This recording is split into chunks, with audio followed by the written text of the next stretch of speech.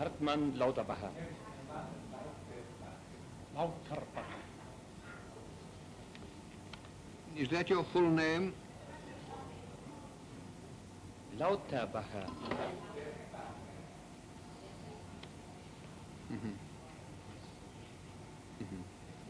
Uh, Will you repeat this oath after me?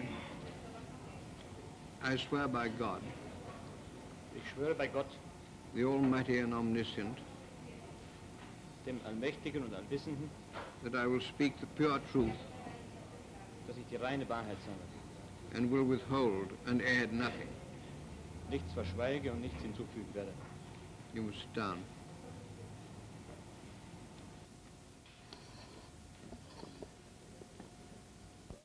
Und im Anschluss hauptamtlich. Also seit 1932. Jawohl.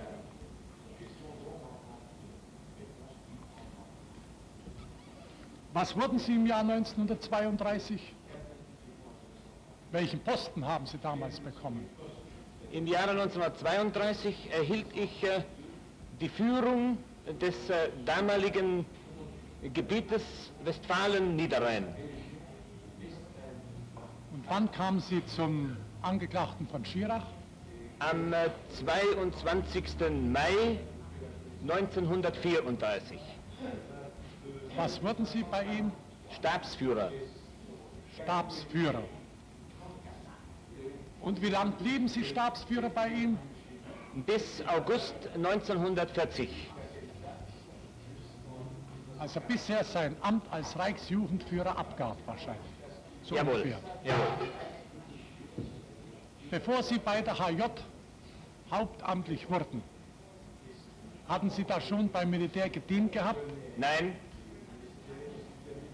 Langsam. Welche Aufgaben hat denn der Stabsführer der Reichsjugendführung gehabt? Kurz, nur damit man weiß, was der für Kompetenzen hat.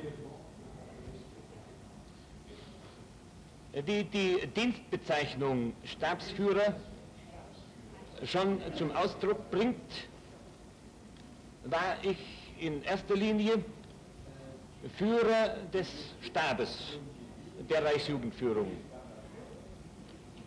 Und hatte äh, die Aufgabe, äh, die allgemeinen Weisungen des Reichsjugendführers in die besonderen äh, der Ämter und der Gebiete der Hitlerjugend, soweit äh, dies